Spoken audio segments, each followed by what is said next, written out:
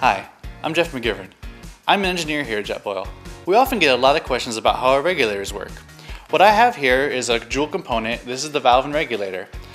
As the can sits on top of the valve, the regulator controls the pressure and flow rate that flows through the system. What that does is it creates a consistent flame, consistent boil efficiency, and consistent burning.